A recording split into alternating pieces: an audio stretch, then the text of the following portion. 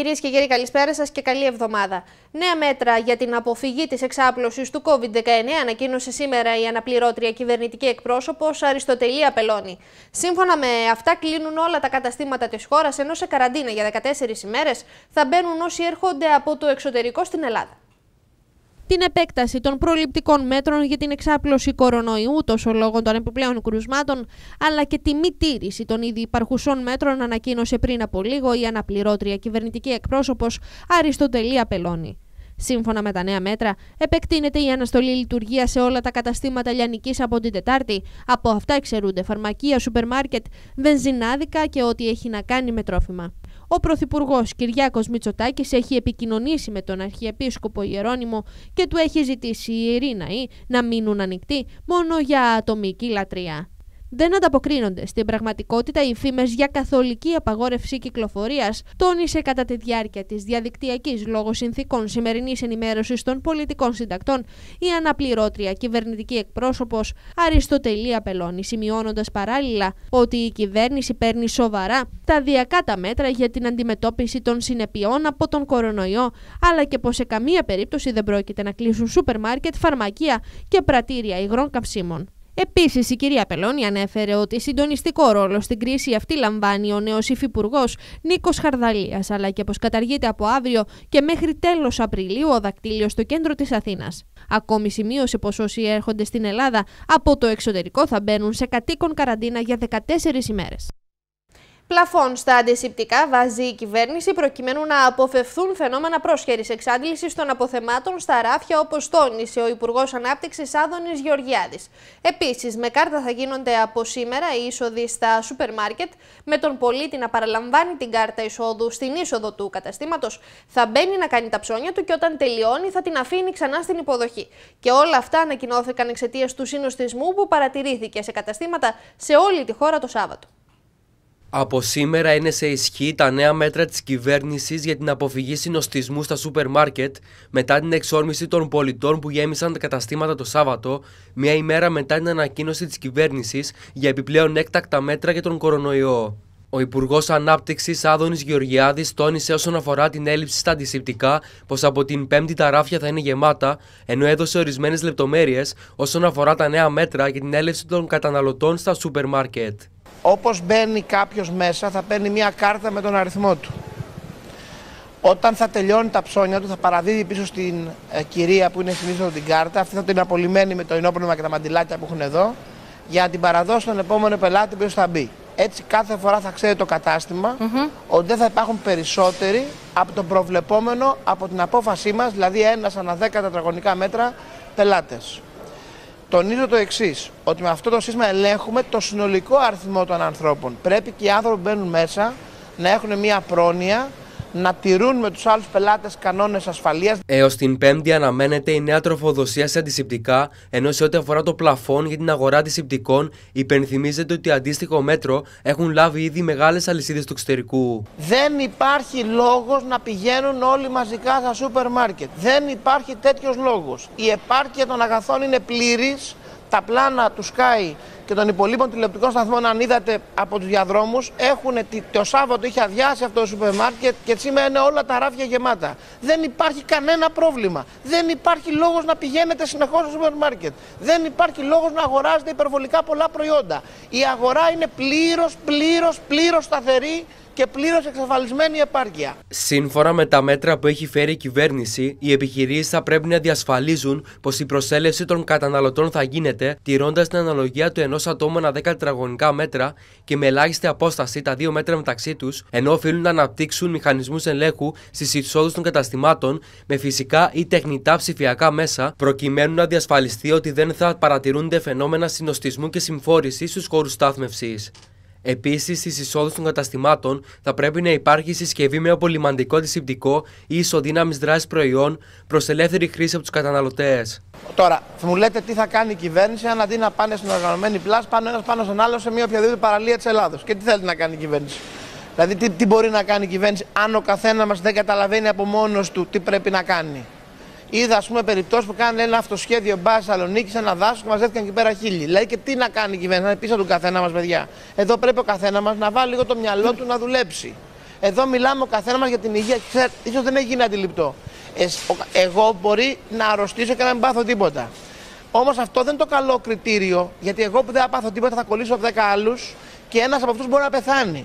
Και να έχω πάρει στο λαιμό μου έναν άνθρωπο είτε συγγενή μου, είτε φίλο μου, είτε άγνωστος σε μένα συμπολίτη μου, γιατί εγώ ήμουν ανεύθυνος. Πρόσθετα, οι διοικήσεις των καταστημάτων θα φροντίζουν οι χώροι να αερίζονται με τεχνικά ή φυσικά μέσα και σε τακτά χρονικά διαστήματα να απολυμμένονται τα σημεία εναπόθεσης των προϊόντων, ταμιακών μηχανών, τερματικών σταθμών και άλλων, ενώ ο ανεφοδιασμός των καταστημάτων θα πρέπει να γίνεται καθ' όλη τη διάρκεια της ημέρας.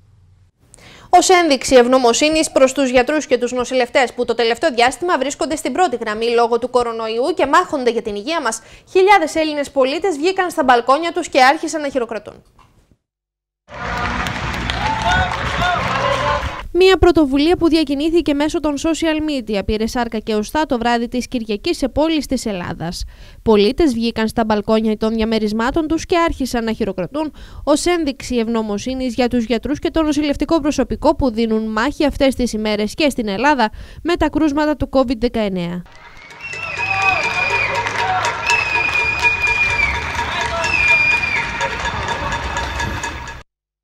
Σε πολλές γειτονιές της Αθήνας ακούστηκε παρατεταμένο χειροκρότημα και έτσι εστάλει το μήνυμα ότι οι πολίτες αναγνωρίζουν τις τιτάνιες προσπάθειες των ανθρώπων που παρά τις δυσκολίες βρίσκονται αυτές τις ώρες στη θέση τους για να βοηθήσουν τους ασθενείς που έχουν προσβληθεί από τον κορονοϊό. Την πρωτοβουλία στήριξε με ανάρτησή της στο Twitter και η σύζυγος του Πρωθυπουργού Μαρέβα Γκραμπόφσκι Μητσοτάκη.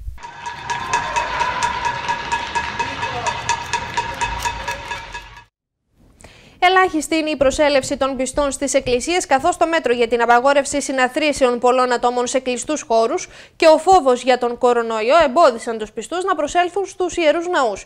Αντίστοιχη εικόνα και στις εκκλησίες της Κρήτης, με τον ιερό Μητροπολιτικό Ναό του Αγίου Μινά να επηρεάζεται και εκείνος από τις συνθήκες. Το μέτρο για την απαγόρευση συναθρήσεων πολλών ατόμων σε κλειστούς χώρους φαίνεται πως στηρούν οι πιστοί, καθώς πολλές εκκλησίες φαίνεται να είναι σχεδόν άδειες λόγω κορονοϊού. Η κατάσταση που διαμορφώνεται χρειάζεται σύνεση και συντονισμένες ενέργειες από όλους. Χρειάζεται προσοχή και προσευχή.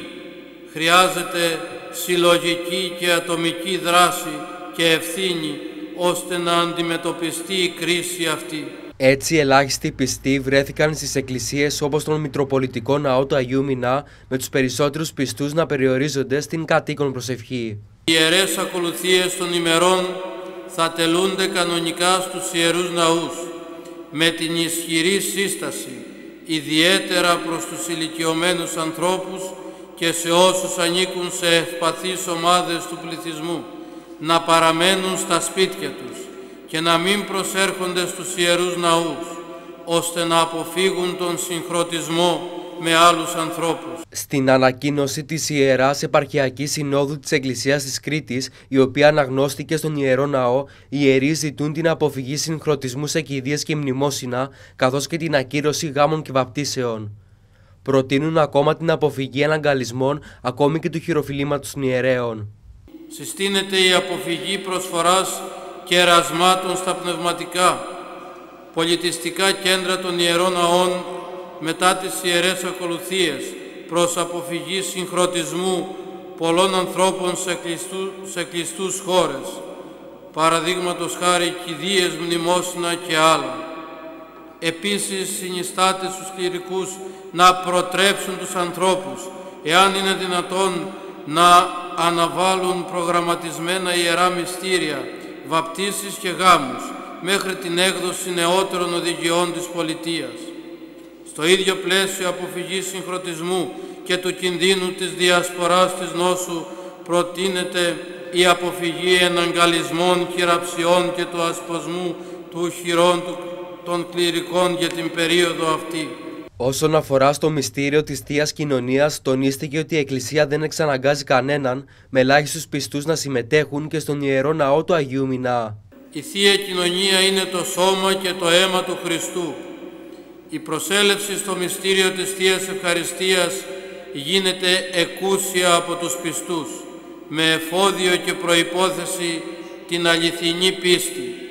η Εκκλησία ουδένα εξαναγκάζει στη συμμετοχή στη Θεία Κοινωνία.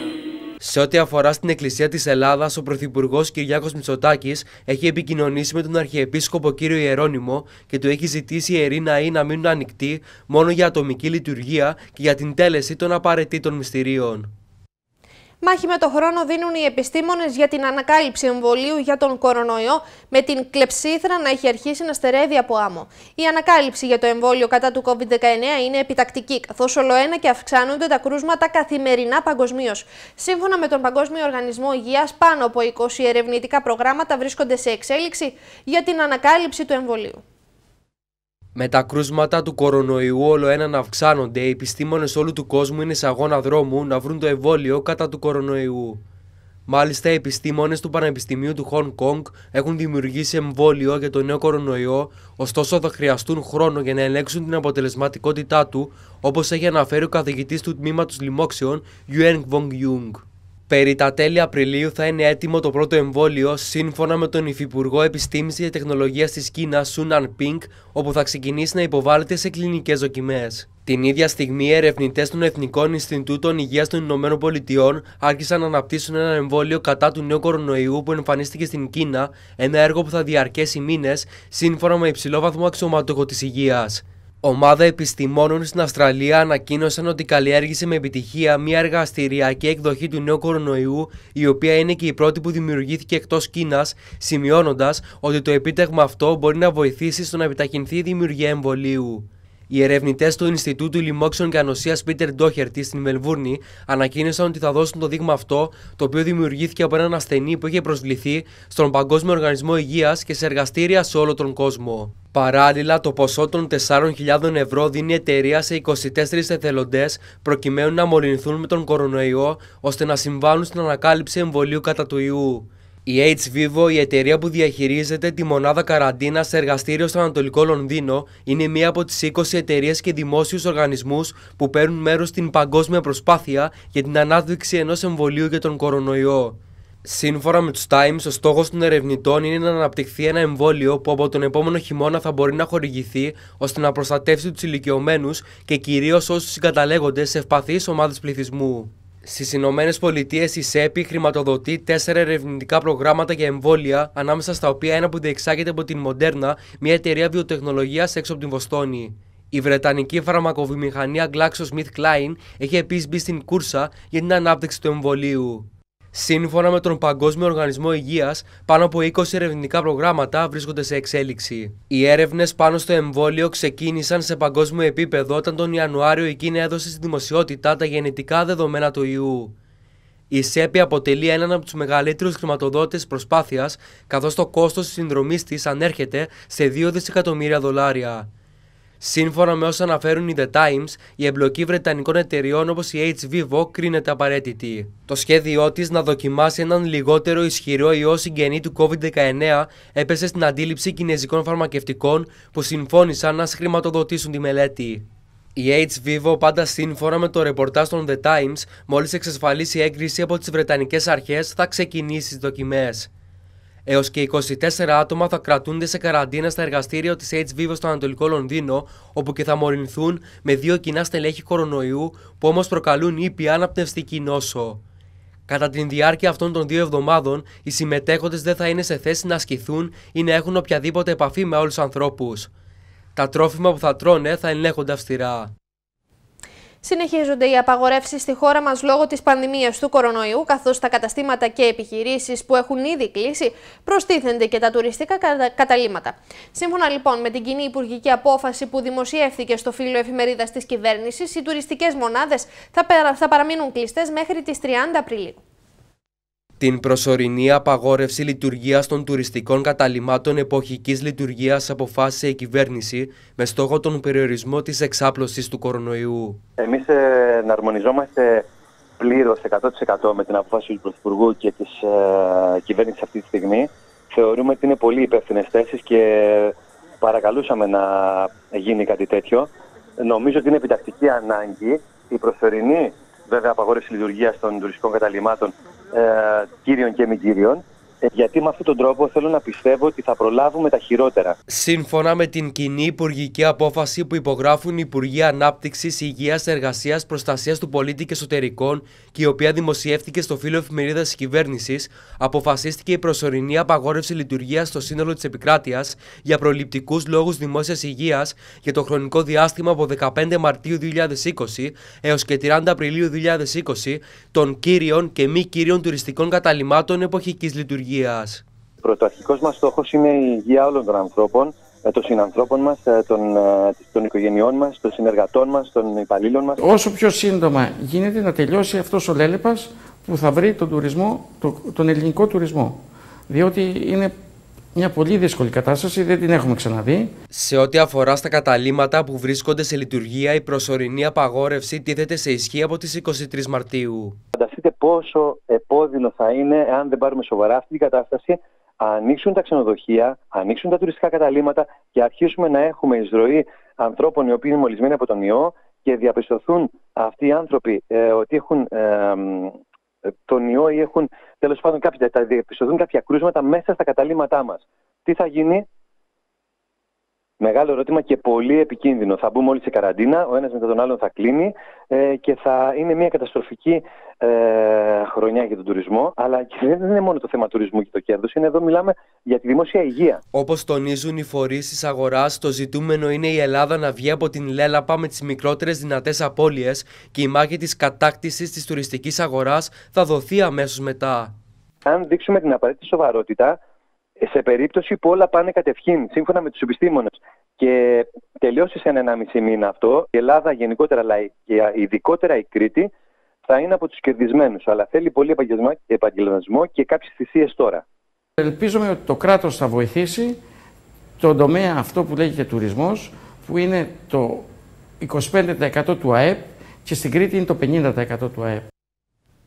Με τον COVID-19 να εξαπλώνεται σε όλο τον κόσμο με αμύωτους ρυθμούς, η Ευρώπη κατέχει την πρωτιά μετά την Κίνα στα κρούσματα και τους θανάτους λόγω του κορονοϊού, αφού οι νεκροί στην Ευρώπη έχουν φτάσει τους 2.000.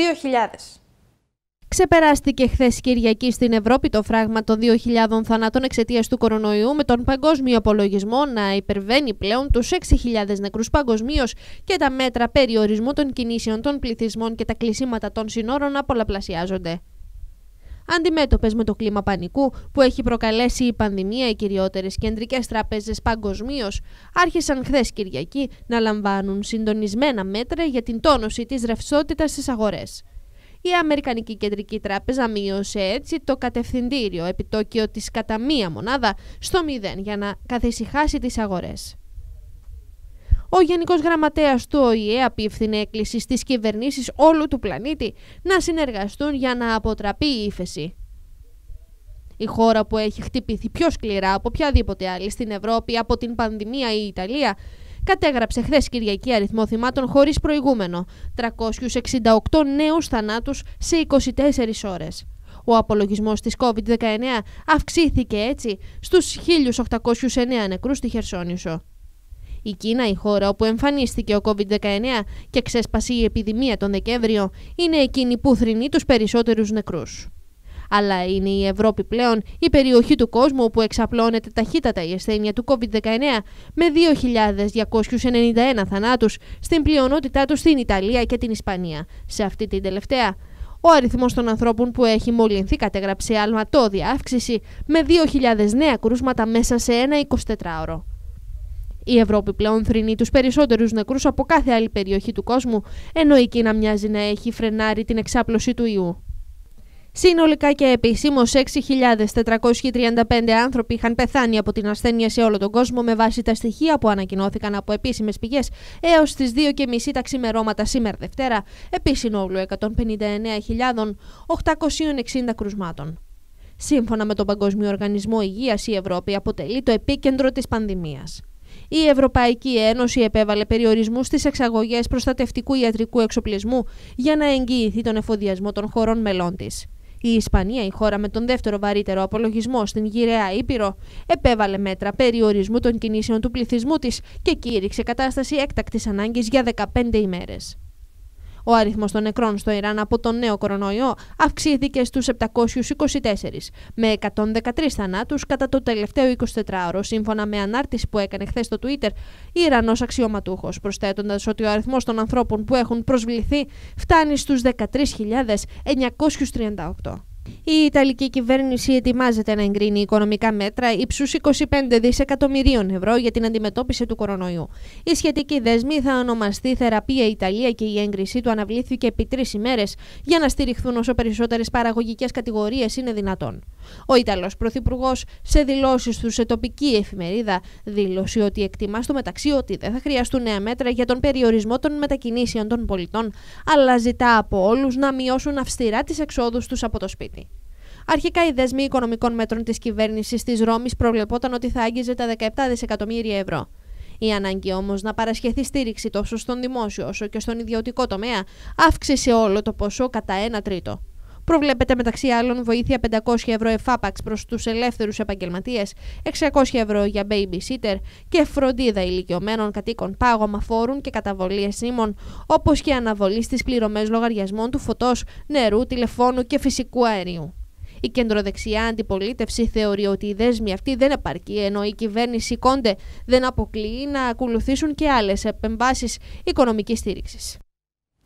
Διπλή μάχη δίνουν οι αστυνομικές και στρατιωτικές δυνάμεις στον Εύρο τη στιγμή που η χώρα έχει κηρύξει λουκέτο και λαμβάνει κάθε μέρα όλο και περισσότερα έκτακτα μέτρα. Στη Μόρια, ένα εξάχρονο παιδί ανασύρθηκε νεκρό στο κέντρο υποδοχής και ταυτοποίησης της Μόριας, όπου ξέσπασε μεγάλη φωτιά, την οποία δυνάμωνε ο ισχυρός άνεμος που φυσά σήμερα στη Λέσβο.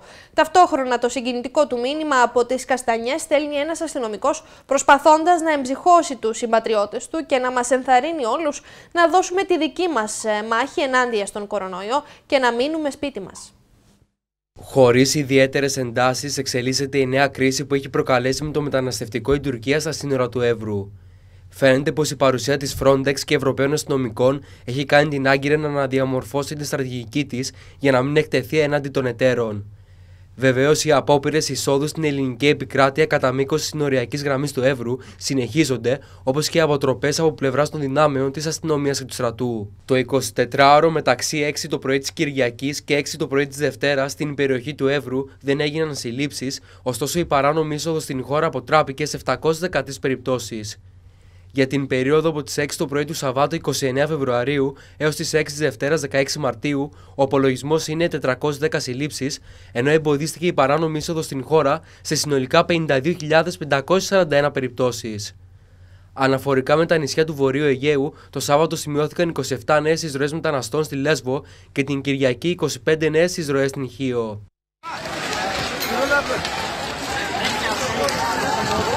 What